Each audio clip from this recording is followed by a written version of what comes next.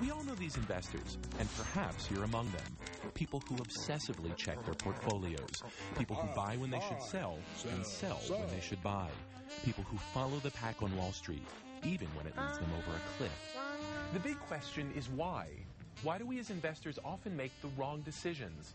In this series, we'll look at the evidence to understand how emotions, psychology, even the wiring in our brains affect our financial decision making. Welcome to Your Mind and Your Money. September 2008. Lehman Brothers goes bankrupt. Stocks tank. The global financial system seems on the verge of collapse. Fast forward one year. Investor Susan Abrams sits calmly in her living room. The market has finally begun to recover. But she remembers the pit in her stomach during the crash as her portfolio dropped nearly 30%. You know, I'm not a suicidal person. But yeah, it, it did affect me. Susan was not alone. Countless investors watched a lifetime of savings vanish. Panic was in the air. Some who were probably on their roofs, you know.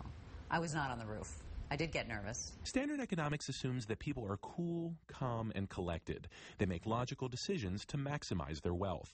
Princeton psychologist Daniel Kahneman turned that idea on its head.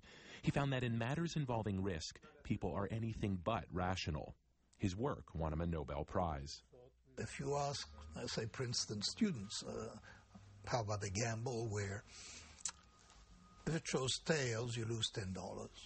If it shows heads, you win X dollars. What would X have to be before you like the gamble, before you're willing to take it? They'll want $25. You can do the same thing with their parents and talk of $1,000 or $10,000, and you'll get roughly the same ratio. So that's a very fundamental fact about people that they're loss averse.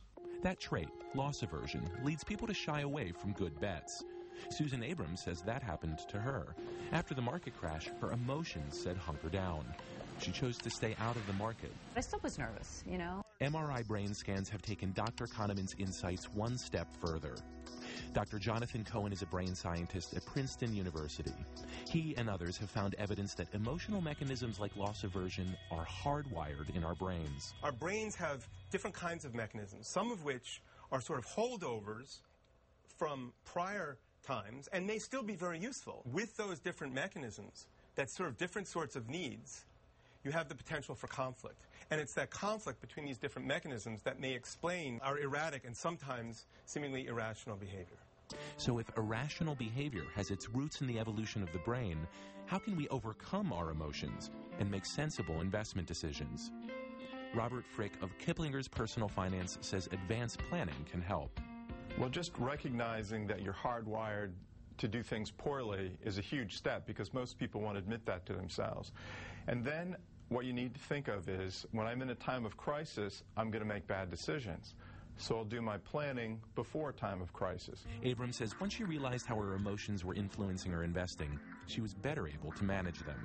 I'm not as crazy as I was, no. In recent years, researchers have begun to unravel the complex connections between your mind and your money. In this series, we'll search for cutting edge insights that will help make you into a better investor. Dan Gretsch, Nightly Business Report, Princeton, New Jersey.